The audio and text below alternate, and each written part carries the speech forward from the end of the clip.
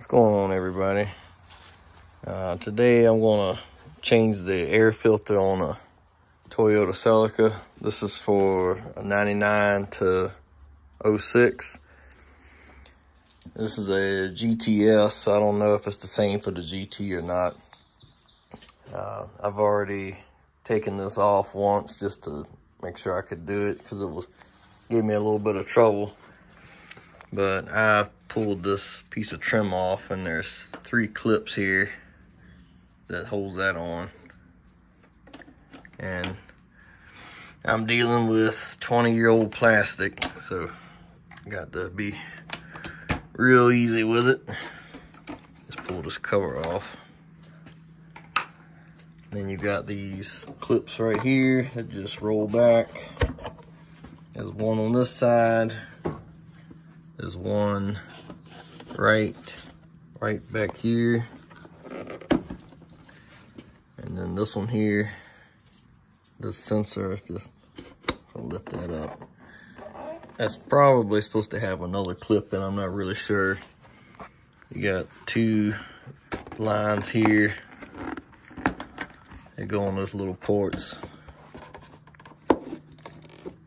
Like I said, this is 20 year old plastics. You gotta be real careful with it.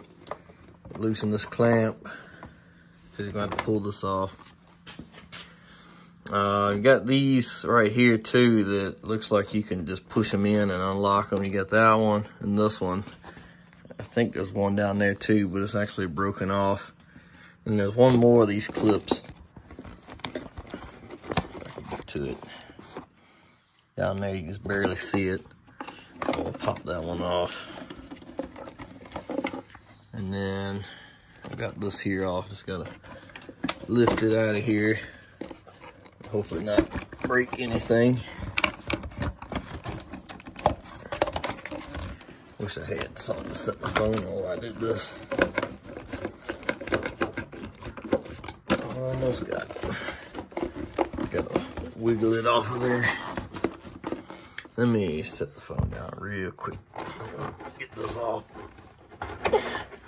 Hard to do with one hand.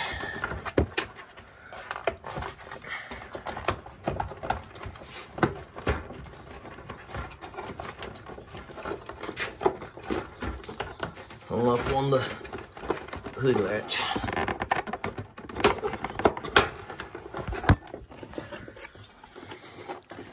I say it's it's it's tough to get. It down. The filters right there.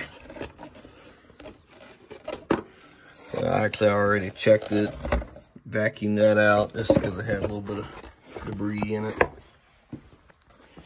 And the filter's not really bad. I, I, this is the first time I've checked it since I bought the car. So it's a little dirty, but you know, I blew it out and just, uh, I'm just gonna roll with it. I don't see any kind of part number on it. So, uh, yeah, like I said, then you just, if you replace it, just get another one, slip it back in there.